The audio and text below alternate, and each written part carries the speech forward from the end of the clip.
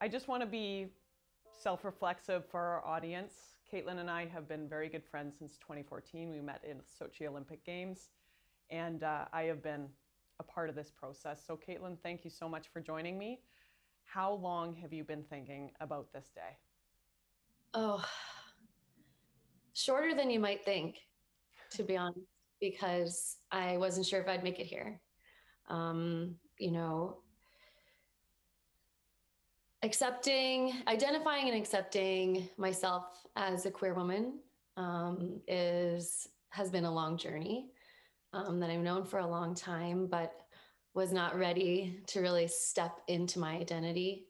And um, you know, over the last couple years, especially after stepping away from sport, I decided to start taking baby steps. And um, so I just feel very proud that I made it to this day. Um, and, uh, you know, I feel like it's important for me now um, to, to step up for myself and for my sport. And um, honored to be here. Why now? Ooh, um, I feel like there's a lot of different reasons why now is the right time. Um, I think 2020 taught us all a lot about ourselves um, and about the world. And, um, you know, when everything stopped, I had nothing else to do but look in the mirror. And this is something that I've been running from for a very long time. And, uh, you know, I think there was something in me, in my knowing, that said, okay, you have no other choice but to start the work. And um, so that, with a lot of the global events, made me feel like, hey, I need to be myself. You know, I need to utilize all of who I am um, to stand up for what's right, too. Um, time is of the essence. We're losing.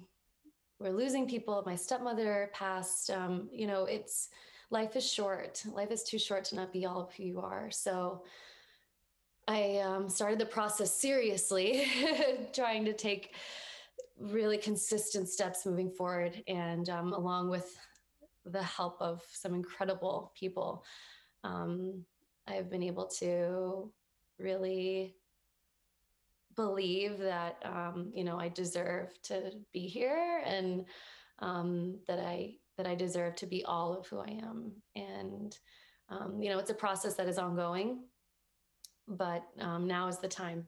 You know, life is too short. Was there an exact moment that made the decision easier for you? Um, I I don't know. I think it's a series of a lot of little mm-hmm. things. You know, um, being away from competitive sport made a big difference, and um, seeing who else I was besides Kaitlyn Weaver of Weaver Poje, Canadian ice dancer, and um, you know, I've so often defaulted to that identity um, that I didn't I didn't want to look and I didn't have time to look at any other part of who I was. And um and that was and I was okay with it. You know, it made me a really fierce athlete, but then stepping away it was like okay, now now I have some work to do and um I think that coupled with um you know going through the last year and um and just setting the intention I think in 2021 to say Kaitlyn, now's your time, you know? Um, and then those little things, step by step, kind of brought me here. First Olympic female figure skater that's ever publicly come out. What do you feel when you hear that? Uh, it's absolutely surreal.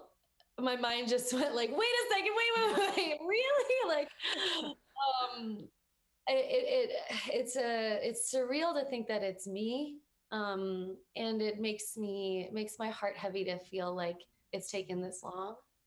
Um, I, I think that says a lot about our sport.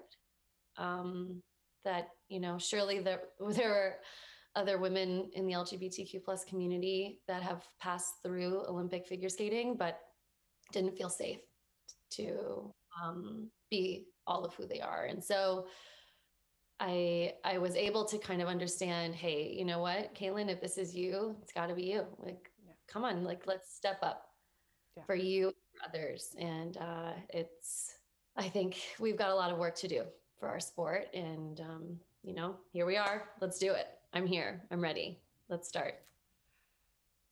When did you first know or first start to think I might be queer?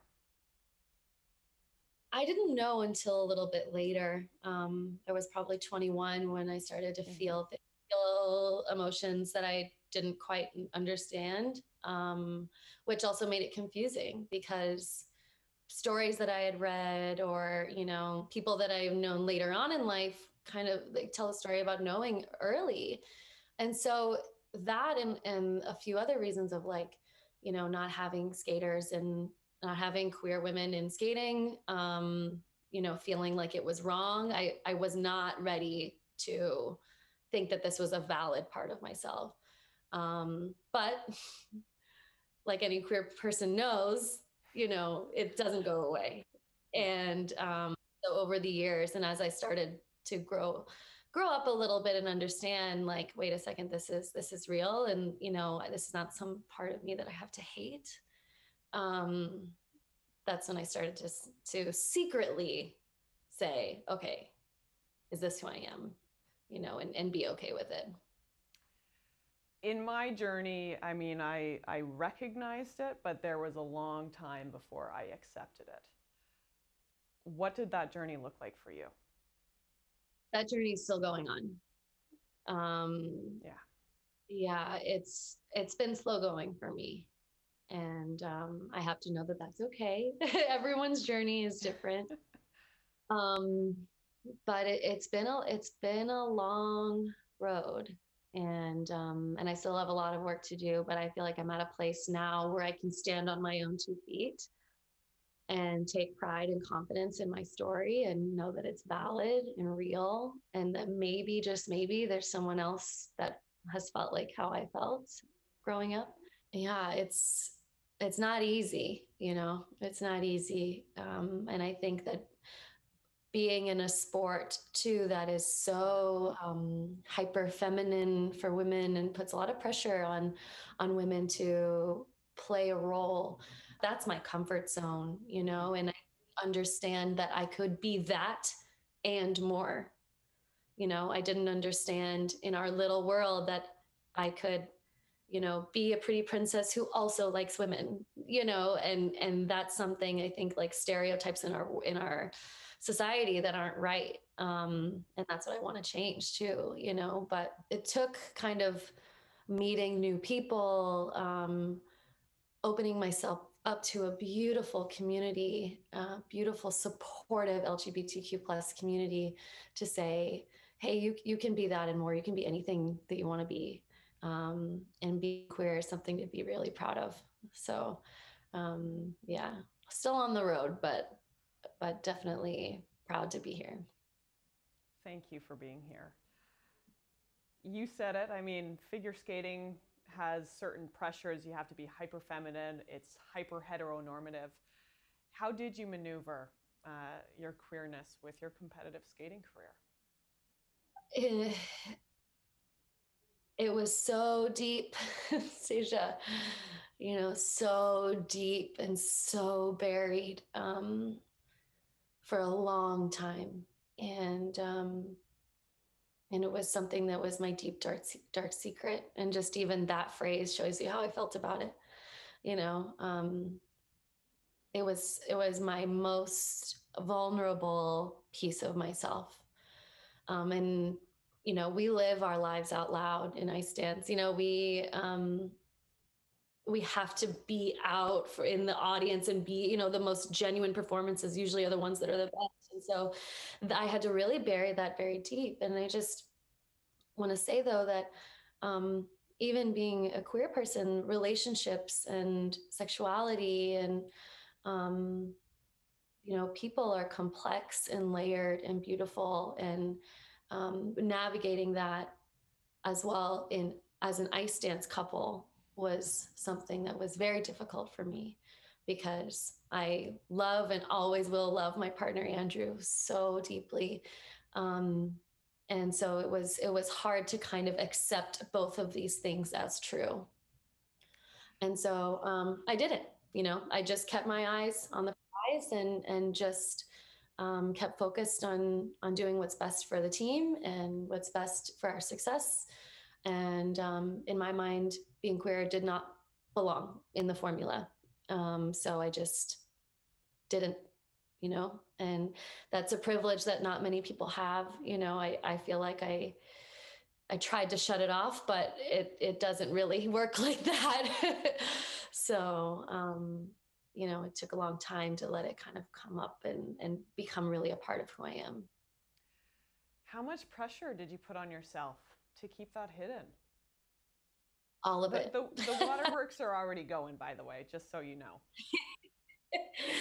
yeah, um, all of it. I you know when it when it felt like just a mistake it was something that i could like shame myself into knowing uh, you know that was a mistake that's not who i am but as time went on you know and i started to accept that this was part of my identity i really judged myself so much um, over what type of clothes i wear what if whether i wear makeup or not how i present um, how i move how i um, speak, how I, because I every every you know in my brain it was like, is this going to look gay? Is this going to look straight? Is this going to is this going to pass? Is this going to not pass? Are people going to be suspicious? What if I am too close to this person? What if I'm not close enough to this person? You know, and and that type of um, analyzing is really hard on somebody, especially you know, a teenager, early 20s, like growing up, it was, you know, it was tough, a lot of pressure. Um, but my comfort zone was always nestled with my partner Andrew and doing what we love to do. So um, that was always where I where I found myself going back to and not really taking steps moving forward in my personal life. We're going to get to Andrew, but let's dive into ice dance. I mean, it is so theatrical. There there has to be a, a connection between ice dancers, ice partners what about that environment made you feel like you had to hide parts of yourself? I never felt like I have, I never feel like I have to act when I'm on the ice with Andrew. Um, mm-hmm. we have a really beautiful natural connection. Um, and that's one of our trademarks, you know? Um, and it's important to me to note that none of that was ever fake, you know, mm-hmm. Um, which I, I really want to stress that it's, you know, we don't need to think on the binary. It's not in or out, yes or no. It's layered and complex and beautiful. And people in our lives, um, you know, are layered and complex and beautiful. And so, um, you know, my partnership with Andrew has never been have, has never been anything but real and authentic. Um, it was more the fact that I felt like that was the only way to be uh, as Kaitlyn, you know, that that was the most valuable person that I could be. Mm-hmm. If I varied from that, um, I wouldn't be as successful, you know, I wouldn't be as valued. We, ice dance, as beautiful as it is, is a judge sport. We're judged every single day of our lives. Um, and um, I think it says something about figure skating that that people um, on in any LGBTQ plus or any type of minority, invisible minority in particular, um, don't feel safe to be who they are necessarily because they're afraid of being judged. And um, you know, being queer is still illegal in some parts of the world, and mm-hmm. so who's to say that there's a judge on your panel that might not support that? And um, you know, it's it's tough when your livelihood depends on that being accepted. And especially when you're successful at it you know? Um, i was good at playing that role. And so being anybody else besides her didn't feel worthy. What do you think could have been different with your figure skating career if being queer wasn't so taboo in figure skating? I think that we would have a really beautiful variety of diverse people in our sport. Um, our sport, it's my belief uh, that art is the underlying um, you know, it's the basis of figure skating. Yes, it's a sport, but it's an art. And what brings artists, you know, it's expression, it's freedom, it's movement, it's creativity. And I think if figure skating was more inclusive, um, we would we would see a lot of varied and beautiful and diverse art. Um, I don't know how that's going to happen. I don't know, um, especially in in couples, you know how that's going to happen. Um, but I think just even accepting that we're here, that queer women exist, um, is part of the process moving forward. Um, you know, when people think of figure skating, they think it's gay, and what do you think of gay? You think of gay men. You know, women aren't even on the uh, on the radar, mm-hmm. and there there we're here you know um, and i think that just even having that idea of inclusivity is a way that we can start to really open this up because it's too beautiful of an experience and of a sport to be so narrow. When you were in the closet competing how do you think that that affected your mental health oh it weighed a lot you know um, anybody who's had to hide something, whatever that is, knows that it's an absolute stressor. And unfortunately for me, it just was permanent, you know.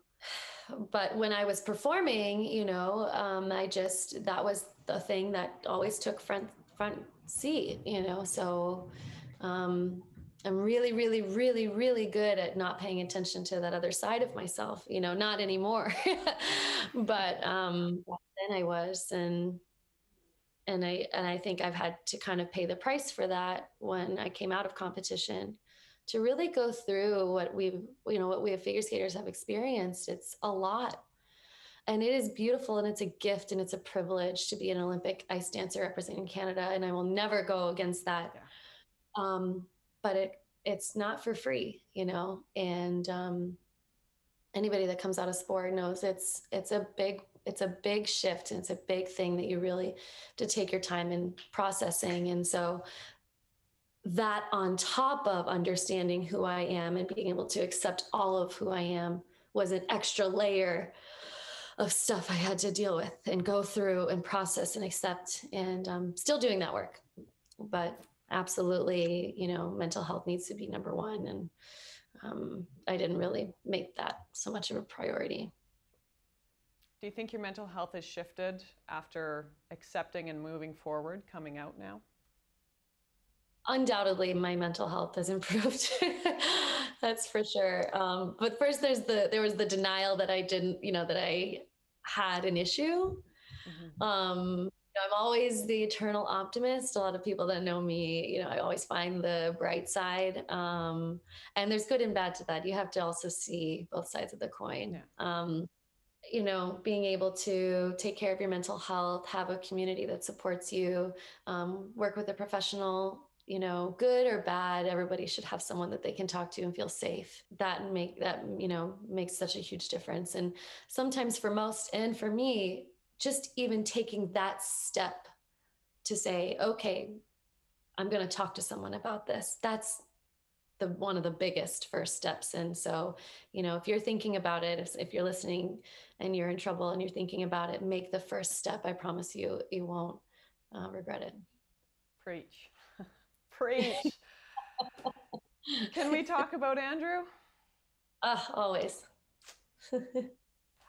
Andrew Poje, uh, best friend partner in crime of course on the ice how did he help you maneuver, you know, your struggles to find your identity? Andrew, um, he's a pillar in my life. Um, whew, always has been. And um, I think coming out to him was the hardest. Um, and he was just right there, strong and steady, like always. And so his support through this means the world to me. And I know that in him, I have a partner and best friend for life. And I love him so dearly. And so I just feel so grateful to have had him as a professional, you know, figure skater, but uh, as a person, he everybody should have an Andrew in their life, you know? And so just being able to accept me for who I am um, and move forward and still do what we love to do just means the world to me. How has he helped you? Whew. Ah, he just says he allows me to see um, what he sees in me. Um, he's, you know, he says, uh, whew. I remember when actually in the message that he wrote to me, he said, um, I want you to see the magic in you, you know, the beauty in you. So um, he just reminds me that I deserve to be making these steps. Ah! um, but uh, he's he's just there, you know, just having some, just having a hand to hold, just like your go-to, your home base. Um, that's him for me. I reached out to Andrew, and uh, I'm going to read a little statement that he would like you to know. Thank you, Kaitlyn, for being brave enough to share this vulnerable moment with the grander audience. We have always leaned on one another throughout our partnership because each see each other at our core. I am proud of your strength and vulnerability to share your story as you become the best version of Kaitlyn Weaver. I will be here and support you however I can because you share an important message. As humans, we need to lean more into who we truly are. I cannot wait to continue our journey as partners as you step into this new chapter of your life. Our partnership has been filled with its ups and downs that have created many, many proud moments. But the most proud and the most proud moment is right now. Thank Woo. you from me and on behalf of those that need the strength and inspiration. I just feel so lucky, you know, to have him that will see me and love me for who I am and who I will always be. I think it's easy to put people in boxes, but people grow and evolve and change. And, um, you know, to have someone that will stand by your side through all of that is a gift. And, um, you know, he's, he's that pillar. you can hear it in, in his words. What are you hoping that this does to change the conversation within figure skating? Hope that, you know, it gives everybody a little hope that there's someone like them, that they're not alone, that, you know, it's okay to be different. And usually the thing that makes us most different is our greatest gift. Um, I think it's really important for figure skating to take a look around, especially its elite athletes, and see who we're missing. Um, visible and invisible minorities. Um, you know, skating has has always been a pretty white heterosexual elite sport, and I don't think that's the best route for any sport. Um, and I think it's important for us to take a critical look at at um, at ourselves and say, why don't why don't we have any queer women here? You know, um, because we're here. and I just uh, I want to start the conversation and and um, you know, I want skating to be inclusive and diverse, and I want everybody to experience what we love so much about it. Um, and skating deserves that, you know. Yeah. But most importantly, I I want people to not feel alone. I can promise that you're doing that with this announcement. When you think to the future, what inspires you? You know, what makes you think we can get there, especially in figure skating? Um, to know that I'm not the first and I won't be the last, you know, um, that the conversations that we're having um, regarding race, regarding gender, regarding sexual orientation. You know, these are all the right ones to be having. Um, I I think that we just need to keep taking baby steps forward and um, Canada in particular is is a leader in that, and I think that we can continue being that for the rest of the figure skating world. So what's next? Ooh, open ice too. Visionaries premiering July third. Very smooth. uh, what's next for me? Uh, you know, I, I wanted to do this for my sport, but I needed to do this for myself. So I I just, you know, I, I feel like what's next for me is to just sit back and, and kind of let it all soak in that I've made it this far. Um, and, uh, you know, in my spare time, I'm working on the Open Ice Collective. It's my charity initiative to help skating become more inclusive. And, um, and we're doing that in a lot of different ways. And so I have a new project coming up in July, which is very exciting. Um, but it's it's really a special feeling to feel like I'm merging now all of who I am into one. Kaitlyn, it means the world to me that you have trusted me with this and uh, that you connected. And I would like to just give you the microphone. Is there anything that I've missed or overlooked?